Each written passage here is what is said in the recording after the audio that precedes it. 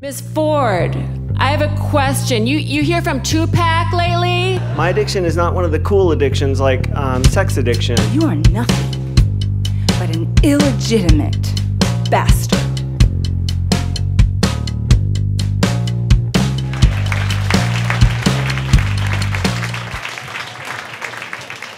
It was many years ago in Chapel Hill, in the middle of taking Chemistry 11, that God made it clear to me Harry Payne, you're not going to be a doctor.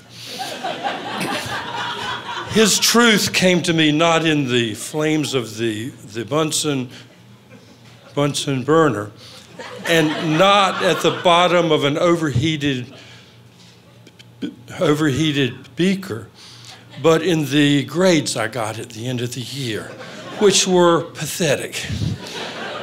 But I was there in Chapel Hill and now generally purposeless because I told everybody, particularly meeting other people, I was pre med. So now I was something else, and I had to figure out what that might be. Well, I'd been in Chapel Hill almost a whole year, so I had immersed.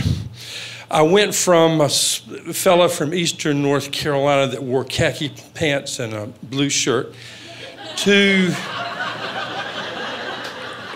to really Chapel Hill. I immersed. When I had hair, it was long. When I had a beard, it was offensive. I wore hippie stuff because everybody then wore hippie stuff. And although I did not smoke the ganja, nobody else knew that, okay? So what I did was to say like a lot and wow.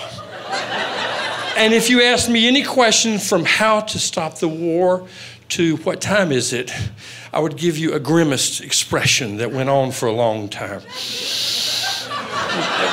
because in that moment, and right on the outside of me, I was deep. So I drifted with the tide of the times and became a abnormal psychology major, and I became really focused and into Latin American history and politics because nobody else had had it either. And we all started from scratch. In my school, we stopped history at 1868. And so I had a chance. So, what I did, but of all that learning and all that thought, nothing taught me more than one afternoon at a state mental institution. I had discovered that to order to eat when I graduated, with those degrees, I had to have a graduate degree. They reveal that to you about two thirds of the way through. and so, what they did is I decided between law and graduate school in psychology. And what I knew both were very orally, in terms of verbal communication, important, but I had climbed that hill before and there was nothing new on its way. But my nature was to be worried and worrisome, insecure, doubtful, and I didn't know that if I could have a professional distance between me and my, uh, my, my patient. So I signed up for a year of volunteering at John Umstead Hospital. And this was a couple of years ago at least. So, um, so I went out there and they said, wanted me to wear a coat and a badge and a look right kind of thing. And I said in my best Chapel Hill, like man, don't build walls between me and my patients. well, they had seen that act before. But, but, but I was like, I mean, like, I mean, really sure I wanted to do this. So they assigned me to a locked men's ward. And this was serious stuff. We're talking incontinence, we're talking drugs, we're talking smells, we're talking really stuff that really grabbed you. But I got, I got hooked on the connections I made there. I found that I was really good at this counseling thing. And one afternoon, one of my patients and I, we would get through at four o'clock usually, but we were making such good progress that four became five, became six, became six, six, uh, six thirty. And finally, he said, "Harry, let's save a little bit of this progress for next time."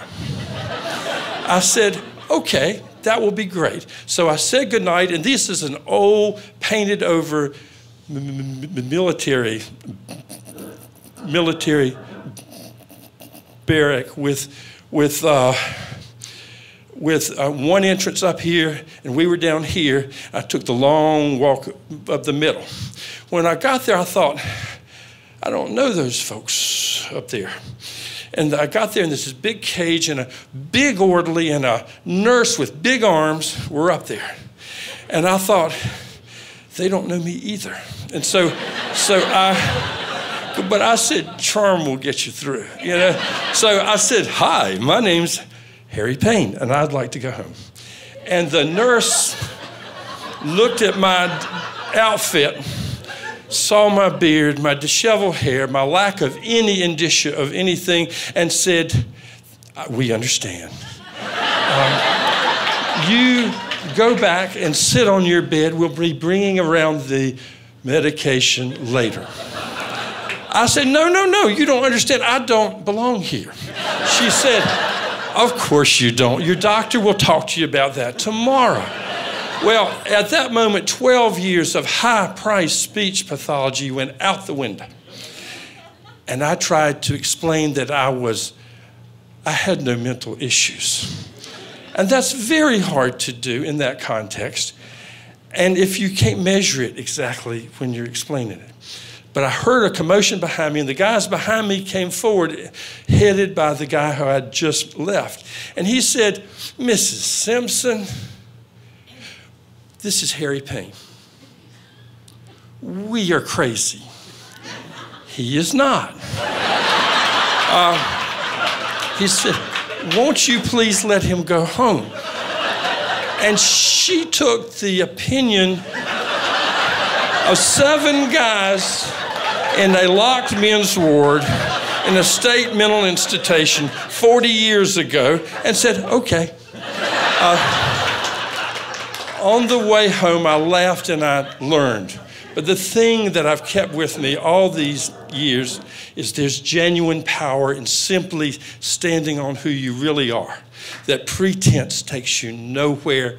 And my weakness was mirrored by their extraordinary strength in being comfortable at speaking their own truth. Thank you.